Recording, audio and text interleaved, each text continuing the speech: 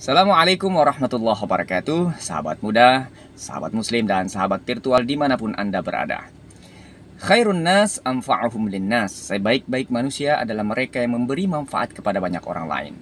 Untuk bisa memberi manfaat kepada banyak orang lain Salah satu syaratnya kita mesti harus memiliki salah satu karakter yakni inisiatif.